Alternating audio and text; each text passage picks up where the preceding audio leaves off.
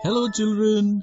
In this video, we will learn about the family tree.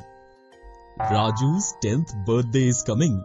His parents have decided to celebrate his 10th birthday in a grand manner. They are making a list to invite all their relatives for Raju's birthday. Father, what are you doing? I am making a list of the names of all my relatives. So many people. What do I address them as? they all have a different relationship with you, Raju. So you cannot address them only in one way. Let me explain to you. Raju's father started making his family tree in this way on a paper. What are you making, father? I am making our family tree. What's that, father? The family tree is a picture in which we depict all the relatives of our family. Look, Raju. First, I will write your name here. This is our first generation. Now, I will draw two lines above your name and write your mother's name and my name. We are both in the second generation of this family. Raju, now can you tell me what I need to do to create our third generation like this? Father, you have to draw two lines each above your and mother's names. You have to write maternal grandfather and grandmother's names on the two lines above mother's name and on the two lines above your name you will write paternal grandfather and grandmother's names. That's correct Raju. Saying this, Raju's father wrote the names of Raju's paternal grandfather and grandmother and maternal grandfather and grandmother's names. Now our family tree is complete, isn't it, father?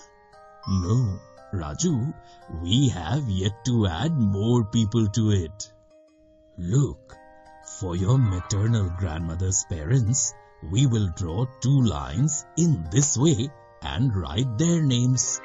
Then we will draw two lines for your maternal grandfather's parents in this way and write their names. The names of your paternal grandfather and grandmother's parents will also be added to this family tree in the same way. What is my relationship with all these people, father? These are your maternal great-grandfather and great-grandmother. And these are your paternal great-grandfather and great-grandmother. This is our fourth generation. Oh wow! Now we have added all the people to this family tree, right father? No Raju, there is yet another generation to be added. My maternal grandfather's grandparents and grandmother's grandparents and paternal grandfather's grandparents and grandmother's grandparents' names have to be added. Now Raju is thoroughly confused.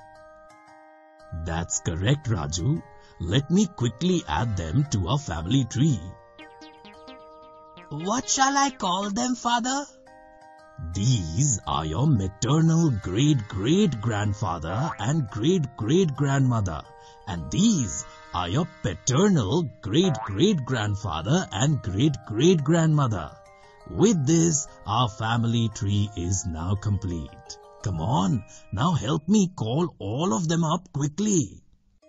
Raju's head started spinning just by the thought of it. I was just kidding, Raju. You go play. I'll call them. Raju quickly ran to play and Raju's father started making calls to invite all his relatives.